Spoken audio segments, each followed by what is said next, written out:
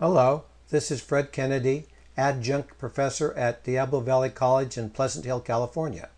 Today I'm going to demonstrate how to create a Visual Studio 2010 or Visual Studio 2012 64-bit assembly language project. To work in 64 bits, you must have a system with a 64-bit CPU and a 64-bit operating system. You can create the following project using either the Express version of Visual Studio 2012 or the professional version. You can also use the professional version of Visual Studio 2010. I did not test it with the Express version of Visual Studio 2010. The Express version of Visual Studio 2012 is available as a free download from Microsoft. We are going to create the project as a Win32 console application. Click on File, New, Project, Expand Templates, Expand Visual C++, click on Win32, click on Win32 console application, and type the name of your project down here. The name can be anything you like. I'm just going to accept the default name. You can also put it in any directory you like, but I'm going to put it in this directory. If this box is checked, create directory for solution, uncheck it, and click OK. Then click on Application Settings, Empty Project, and Finish. Now we have to associate the project with assembly language. To do this, click on Project, Build Customizations, and check the MASM box, and then OK. Now we have to configure the project, project for 64 bits. In the dialog box up here, click on this Win32 drop-down arrow, click on Configuration Manager. Under the Active Solution Platform, click on the drop-down arrow, on New, and select New Platform. We're going to select x64, copy settings from Win32, and leave this box checked, Create New Project Platforms. Click OK. And then close. For some reason, after creating a project for 64-bit programming, the main function cannot be found by the linker, so you must manually create the entry point as follows. Click on Project, Properties, expand Configuration Properties, expand linker, click on advanced. At the very top here we see entry point. Click on the drop down arrow, click on edit, and type in the name of our entry point, which is, which is the main function, all in lowercase. Click OK. Then OK. We have created our project for 64 bits. Now we need to add a source file. Click on Source Files under your Solution Explorer, under your project name, right click, add new item, expand Visual C++, and we want a CPP file, but you may have to click on Code and then CPP file.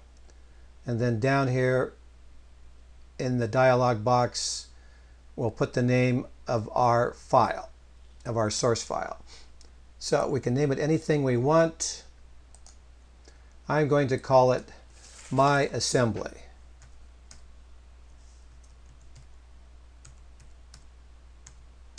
Now here's the important part. The extension has to be .asm, not CPP, so that this will be known as an assembly language file. You can take note of the directory the file is going to go into, which in this case is our project directory. Click on Add, and now we are ready to begin typing our code. To be able to properly exit our program, we need the Windows exit process routine. And we can do the prototype right here.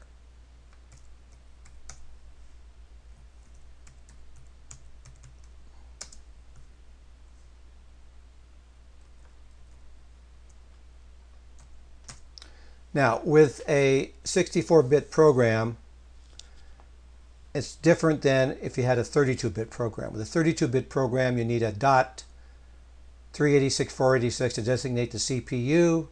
You need a dot model, but with 64-bit programming, you don't need to designate the CPU or the model. All you need is a code section, and you can optionally have a data section. I will stick a data section in here, and to it I'll add a variable. We'll just call it Q word 1, which will be a Q word, and we'll initialize it some junk value.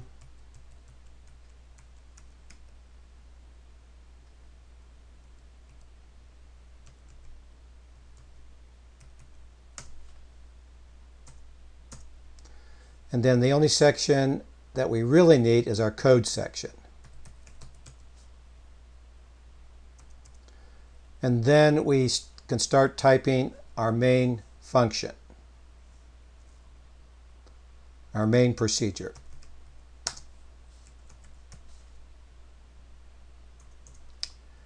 Now just to test out the 64-bit programming, we'll write some code to initialize the 64-bit register RAX.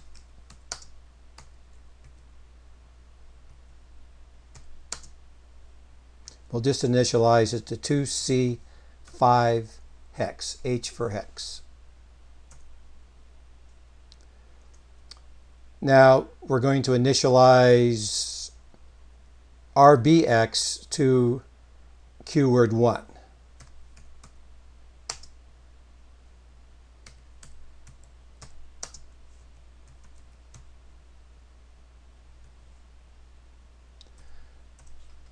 Now we would like to exit properly to the operating system, so we need to call exit process. Before we call exit process, we need to configure the one parameter, the exit code, which will be zero. And we need to put it in RCX because Windows API functions under 64-bit programming pass parameters via the RCX, RDX, R8, and R9 registers rather than pushing them on the stack. So if there are four parameters, they will go into those registers. Exit process only has one parameter, which is going to be zero, so we can put that in the RCX register.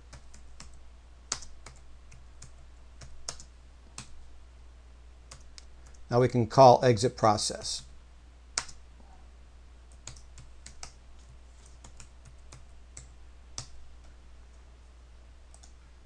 Now we just need to finish up our main function.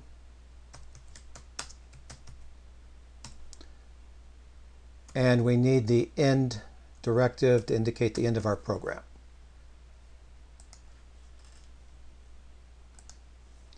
We want things to properly line up. After writing our code, we are ready to assemble or compile it and create the executable. To assemble it or compile it, hit and create the executable all in one shot, hit F7.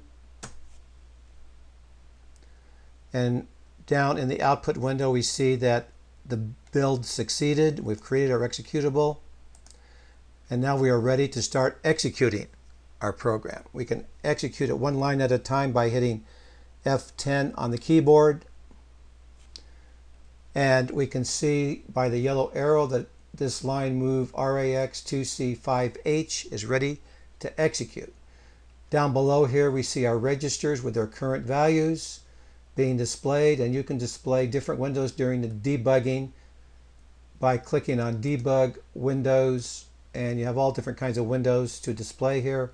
Right now registers is already being displayed so I don't have to click on it. In order to choose which window to display, your program has to be running.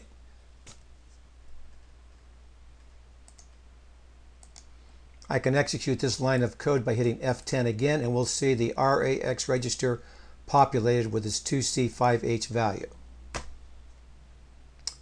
Uh, there it is.